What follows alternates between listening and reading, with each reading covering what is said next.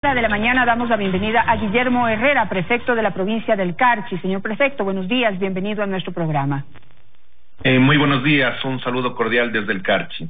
Cuéntanos, por favor, cuál es la situación que se está viviendo en este momento en la provincia, por la cual usted está proponiendo que se haga un corredor humanitario, que se hable con las cancillerías de Perú y Ecuador para poder hacer un corredor humanitario que permita a los venezolanos principalmente regresar a su país. Desde la semana pasada ya notamos la presencia inusual de, población migrante en nuestras ciudades, eh, principalmente en la ciudad de Tulcán y en el puente internacional de Rumichaca.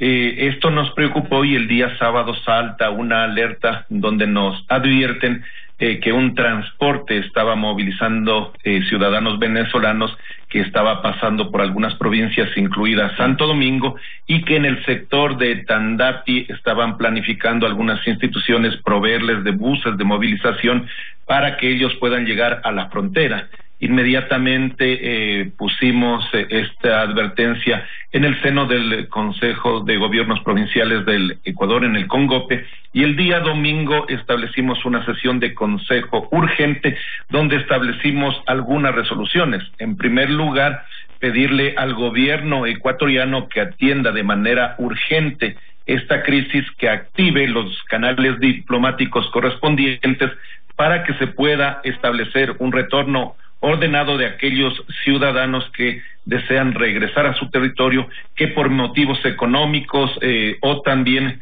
por riesgo de contraer el virus en territorio ecuatoriano quieren regresar a Venezuela. De no eh, activarse los convenios y las acciones eh, planificadas entre los gobiernos de Ecuador, Colombia y Venezuela, realmente estaríamos teniendo un impacto no solamente sanitario, sino un impacto social en la frontera. Eh, luego de estas acciones también hemos solicitado al gobierno ecuatoriano que a través de la Policía Nacional haga ejecutar todos los eh, lo que está establecido en el decreto de emergencia con lo que se refiere a prohibir la movilidad entre cantones y entre provincias. Sin embargo, nosotros entendemos la gravedad de la situación. El día de ayer pudimos comprobar que alrededor de un centenar de ciudadanos estaban apostados ya en la frontera y lo que quiero que conozca la ciudadanía ecuatoriana, no solamente ciudadanos venezolanos, sino también de nacionalidad colombiana que desean volver a su territorio. Yo creo que la posición del gobierno colombiano debe ser la adecuada, conversar, dialogar, llegar a acuerdo con sus pares ecuatorianos con la finalidad que el regreso de los ciudadanos extranjeros primero sea ordenado, planificado. Evitemos que ellos tengan una mayor complicación, mayor sufrimiento, ya que van con niños, ya que van personas mayores, y, esto realmente eh, genera un impacto negativo. Claro que sí, la situación es bastante complicada. Yo hablaba de Perú también porque en esa frontera también existe el problema. También se están aglomerando eh, del lado peruano eh, eh, venezolanos que quieren pasar hacia nuestro país y de aquí a Colombia y de allí a Venezuela. Ahora, existe en este momento, como usted ya lo mencionó, una prohibición de que circulen personas por las carreteras y están cerradas las fronteras. Usted plantea que haya una conversación entre cancilleres para poder facilitar y crear un corredor humanitario y que estas personas puedan llegar a Colombia y a Venezuela respectivamente. ¿Usted ha planteado esto ya al gobierno nacional? ¿Ha tenido alguna respuesta?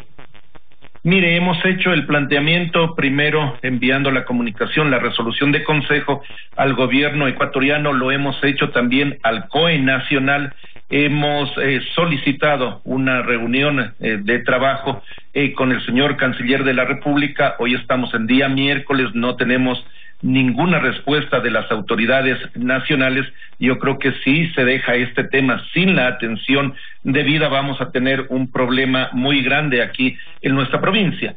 Un segundo punto que también quiero llamar a la reflexión de las autoridades locales de otras provincias que eh, no eh, no impulsen ningún retorno de los ciudadanos extranjeros, de venezolanos principalmente, que están en sus territorios, que mientras no haya un acuerdo entre los gobiernos de Ecuador, Colombia y Venezuela, nosotros mantengamos a los ciudadanos en nuestros territorios. De alguna manera ya estaban viviendo en cada una de nuestras provincias, ya estaban haciendo algunas actividades por sacarse el problema, ciertas autoridades pretenden financiar eh, la posibilidad de buses para que esos ciudadanos vengan a la provincia del Carchi. Yo creo que ese no es un eh, trato coherente, no creo que se actúe de esa manera y lo correcto es eh, que nosotros como Estado, como gobiernos locales, con el gobierno nacional, podamos coordinar una acción conjunta y una acción equilibrada.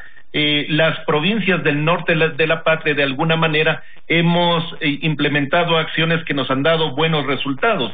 En este momento, Carchi se ocupa, eh, ocupa el puesto 17, el número de contagios por cada 100 mil habitantes. Esmeraldas, el puesto 18, Imbabura, el 22 y sucumbió el 23. Eso quiere decir que las medidas que hemos implementado como prefecturas, municipios y gobiernos eh, parroquiales nos han dado los resultados esperados y hoy lo menos que esperamos es un trato discriminatorio que este problema que no lo hemos buscado los carchenses sea manejado de una manera adecuada.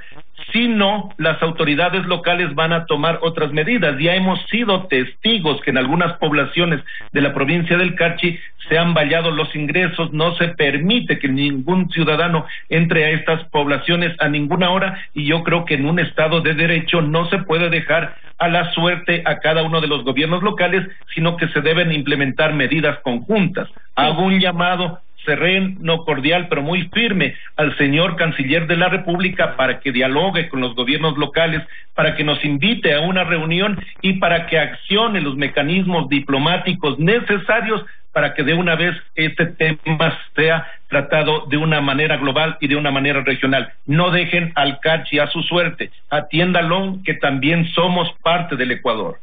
Señor Prefecto, por último, quisiera también eh, consultarle sobre eh, ayuda que usted también ha pedido en este momento ante la situación a organismos internacionales que están presentes en la provincia, que eh, colaboran y contribuyen en, el desarrollo de distintos proyectos.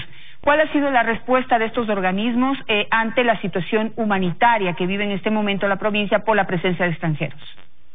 Mire, yo quiero reconocer el trabajo de algunas agencias de Naciones Unidas y otros organismos de cooperación. Precisamente el día de ayer tuvimos una amplia reunión de trabajo, analizamos cuál es la posición de ellos, que los ciudadanos conozcan que con la cantidad eh, de extranjeros eh, que están en diferentes eh, situaciones aquí en la provincia del Carchi, algunos que residen, otros que están en condiciones de hacinamiento y lo más preocupante, otros que están en condición de calle, las instituciones públicas con el apoyo de la cooperación internacional hemos podido lidiar con este problema, con los ciudadanos que habitualmente, que en condiciones normales ya tienen esa problemática en nuestro territorio.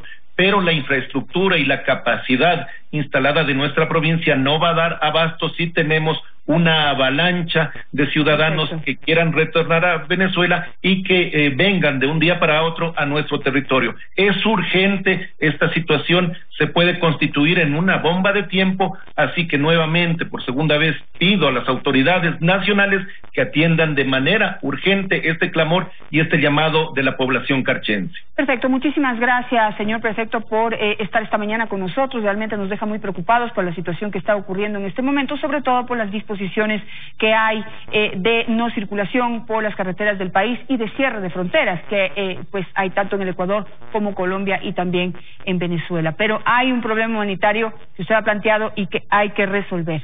Vamos a ver qué es lo que eh, contesta o dice o opina la Cancillería en torno a este tema. Vamos a un corte.